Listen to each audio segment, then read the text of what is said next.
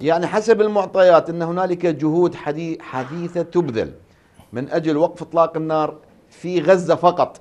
وليس في جنوب لبنان. وأعتقد إن هذه المعطيات ستكون حاضرة في المرحلة القادمة وحتى احتمال قبل الانتخابات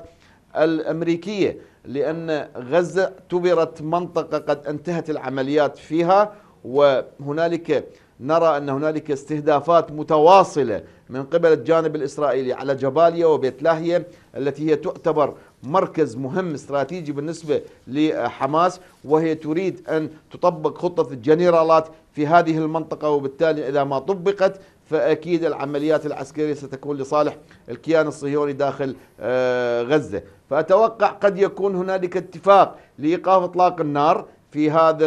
في غزة وهذا يعتبر يعني ضمن الاتفاقات التي حصلت ما بين الجانب الإيراني والجانب الأمريكي وحتى الجانب الإسرائيلي، قد يكون هذا جزء منه قد تستغله إيران لمنع يعني أو لعدم الرد على اعتبار أنها حققت نصرا آه، ضمن التقية السياسية التي تستخدمها إيران آه، أمام المجتمع الدولي بأنها حققت نصرا بإجبار اسرائيل على القبول بوقف إطلاق النار، لكن ضمن المعطيات التي على الأرض نحن متابعين أمنيين نرى أن العمليات العسكرية هي أصلا قد انتهت آه، في غزة وغزة جرفت وبالتالي اليوم لا يوجد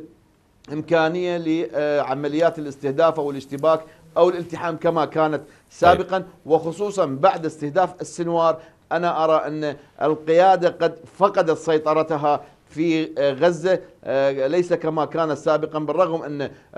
المقاتلين في حماس آه، هم مقاتلين أشداء لكن